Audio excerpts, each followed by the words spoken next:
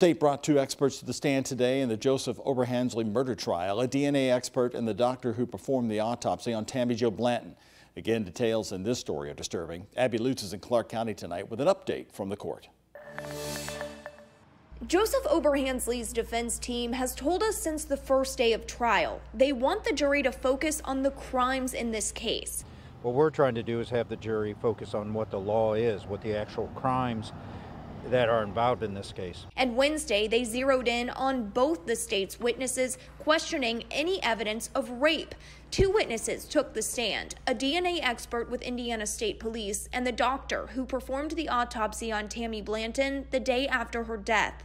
The DNA expert testified to finding Tammy Blanton's DNA on a plate and silverware found at the crime scene, along with a pair of tongs and a frying pan found on the stove. She also testified to finding Tammy's DNA on Oberhansley's hands and Oberhansley's DNA on a vaginal swab taken by the doctor who performed the autopsy. The defense in cross examination pointed out the fact that no sperm was found, that the DNA found on the swab is a presumptive yes, and doesn't confirm that sperm from Oberhansley was present. Defense also questioned the medical examiner on sexual assault, asking if there was any evidence of trauma. The doctor testified to finding no evidence of any sexual assault, though he did tell the prosecutor physical evidence isn't always present in rape victims.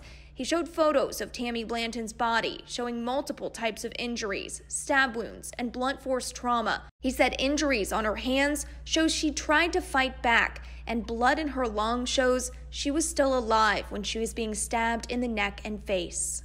Court is set to resume again tomorrow morning. I'm in Jeffersonville. Abby Lutz, WHAS 11 News.